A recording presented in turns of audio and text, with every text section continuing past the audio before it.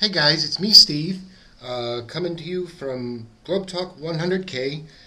I apologize, it's been a while since my last uh, broadcast, but the fact is, I've had a lot of stuff to do personally, and uh, but I'm here now, so that's great.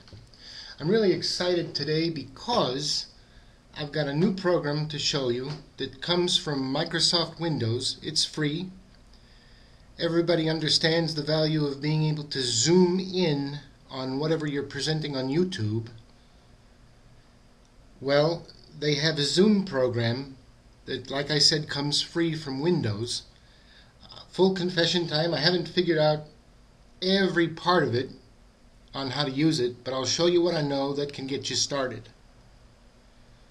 So anyway, let's get started. As always, uh, we go down to here to the start button, and in here you type in the word magnifier. It's magnifier. I'm not going to do it because I already have it on my system. Uh, but as I said, it's called magnifier.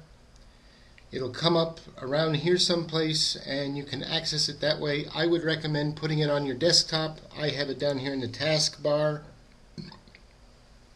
Excuse me. I have it down here in the taskbar and um, it's just for easy access. At any rate, here we go. Here it is right here, magnifier. I'll bring it down uh, to, to a better view. One thing you should know is that it goes to sleep, as it were, and it'll follow you around to a point. Um, but you just click on the magnifier like that and it works just fine. At any rate, to zoom in, you press the plus key, or the you, the, you click on the plus button. By the way, I'm using Windows 7 for anybody that's interested. But as I said, you press the plus button and you'll notice that the magnifier goes up by 50%. In this case, it'll go up by 50% increments every time I press it. As I understand it, it goes up to 1600% magnification. I don't know why anybody would want that, but if you want that, it's certainly there. And to get it back to where it was before, and you'll notice it goes down by 50% increments whenever I press the minus button. Uh, over here, okay, you notice that it says 50%. This is where you set your magnification increments for zooming in and out. If I were to move this over, it would go 100% and it would go from 100 to 200 to 300% magnification and so forth. But I like to keep it at 50%. Now, there's also this color inversion thing that's pretty cool, although I don't know why you'd use it, but it's still pretty cool. Let me show you. Kind of looks like an x-ray or something like that. Anyway, at any rate, we'll turn that back to its original color.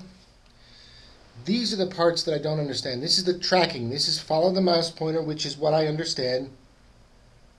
What I don't understand is follow the keyboard focus and have the magnifier follow the insertion point.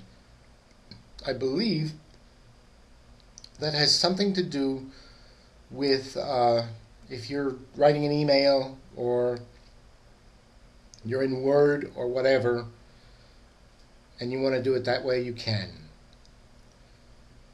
At any rate, I'll just leave it on follow the mouse pointer. And we'll go back to views. It's been on full screen all this time, okay? But now we're going to switch it. Well, let me go back a second. Let's switch it to 150% magnification, even 200% magnification. So let's go to lens. Let's go to the lens view. And as you can see, it's like a magnifying glass. Anywhere it follows them, and it follows the mouse pointer, anywhere I go with the magnifier, it increases it accordingly, magnification wise. If we want to go back and go to the views section again and click on the docked view, you'll note that it's docked here, it, it's stationary, okay, but that it follows the magnification. This is pretty cool. Or not follows the magnification, but follows the pointer. It's pretty cool. At any rate, that is what I understand about this magnifier program. I really recommend it. It's free from Windows. Just download it like I said, or access it like I said, and uh, go from there. Okay, thanks for your time, and send me any comments you want, and have a great day. Bye bye.